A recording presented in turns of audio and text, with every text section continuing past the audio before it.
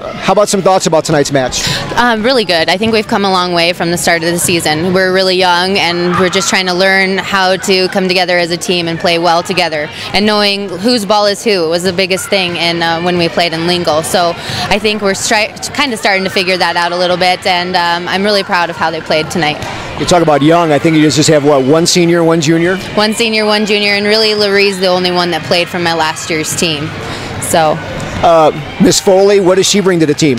she is just such a good leader. You know, she stayed positive throughout the whole thing. There's been some adversity, um, you know, starting out the season, losing Ashley to Buffalo, and she's just stayed really positive. And you know, she's really not even had to say anything. Her actions are speaking a lot louder than her words, so she's doing an awesome job.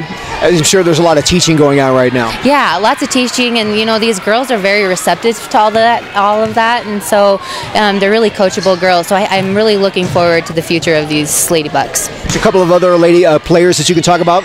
Yeah, so Ayana Windsor, my little libero, she is picking up balls like left and right. Um, without her, I don't know if we would be able to pick up those balls. And she's our, you know, main force as far as, um, you know, talking and getting everybody going, keeping them motivated. So, thank goodness for Ayana. And she's young; she's our sophomore. So. You know, this is your second win of the year, but you played some 2A schools pretty tough, haven't you? Yeah, we did. We played them tough, um, but there's some games that we just lot, we let a lot of points go. There was probably there was two games. I can't recall which games they were. We were we went to three sets.